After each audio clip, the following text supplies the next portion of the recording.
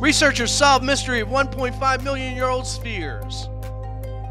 A joint Spain Israeli team of archaeologists have just released their findings. The mysterious spheres have been found from North Africa to Israel to India. The origins of the spheres have been the subject of intense debate over the years. The team analyzed 150 spheres at the Ubeidia site in Israel.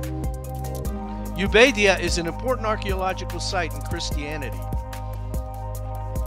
The team released their much anticipated paper on September 3rd. The spheres were most likely made by Homo erectus.